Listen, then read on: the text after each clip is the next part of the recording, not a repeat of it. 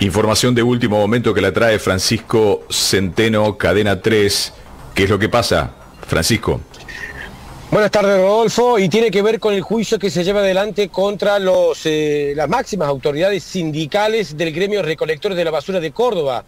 Hace instantes, por unanimidad, el tribunal oral que tiene que juzgar a Saillén y a Catrambone acaba de rechazar la reparación económica. Recordemos que habían presentado eh, un pago y ofrecido un pago por 750 mil dólares para reparar el daño que habían producido, también eh, para eh, anular este proceso judicial, pero por unanimidad acaba de resolver justamente el tribunal rechazar este eh, pedido. Recordemos que están acusados de por eh, asociación ilícita, defraudación y también por el delito de usura. Y además se ordena suspender este juicio hasta que finalice la investigación que lleva adelante el fiscal Senestrari por el delito de lavado de activos, Rodolfo. Bien, un poco de sentido común. Entonces no le aceptaron los 750 mil dólares para no ir a juicio a este sindicalista que ahora puede, tiene unos días todavía,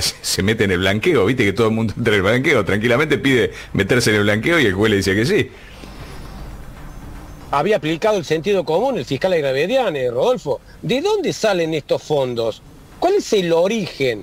Pueden justamente presentar eh, los, eh, los papeles, los certificados que demuestren el origen de estos 750 mil dólares, por eso que había rechazado justamente a Iravedian este, este pedido de reparación económica, e insisto, no es menor el dato, Rodolfo, por unanimidad se rechaza este pedido y se suspende el juicio hasta que finalice la causa por lavado de activos.